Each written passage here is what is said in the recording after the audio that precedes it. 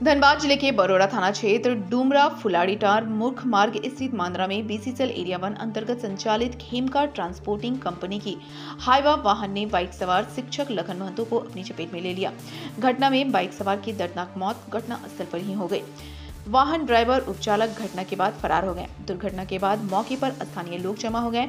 मृतक पिपरा टाण का रहने वाला है। घटना की जानकारी पाकर मृतक के परिजन गाँव वाले मौके पर पहुँच मुख्य सड़क को आगजनी कर जाम कर दिया।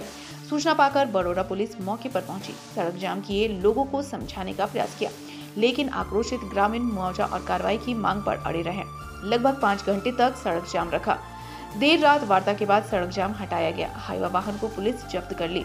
सौ को पोस्टमार्टम के लिए भेज दी।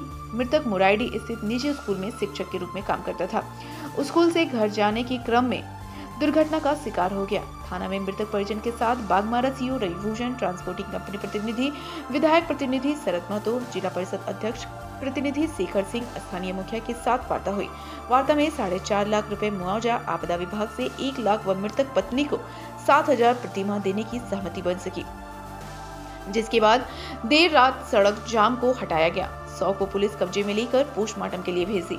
वहीं बरोरा थाना प्रभारी नंदू पाल ने बताया कि सड़क दुर्घटना में हाईवा वाहन की चपेट में आने से बाइक सवार शिक्षक की मौत हो गई।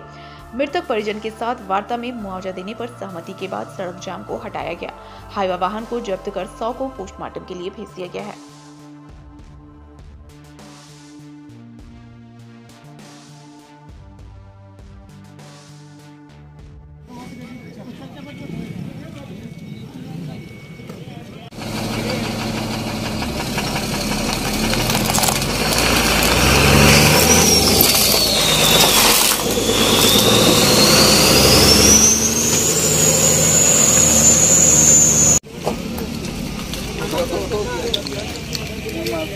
सड़क दुर्घटना की घटना घटी थी जिसमें स्पॉट डेथ एक व्यक्ति का हो गया था।